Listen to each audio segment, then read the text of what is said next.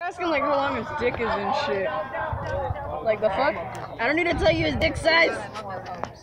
It's none of your concern. Exactly. Not the you will. Well, you're the only one So I that can one of my know. Really. friends. I walked up to this random girl. I showed her my friend's. Uh, my friend's. Triggered. And it was like an alien twerking, and I'm like, how do you respond to this? No. I'll be a one. One more game, Jarvis. No! What? Yes!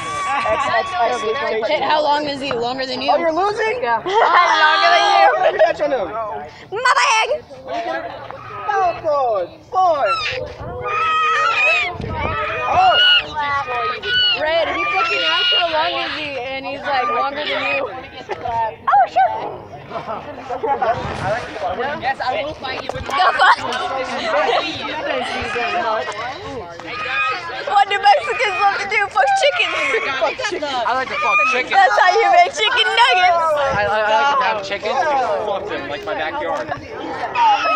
All right, say something.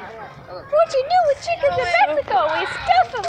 I want to say We stuff them with Dude, this guy won't fucking stop. He's like, can I watch you two fucking shit? I'm like, The fuck no, sir.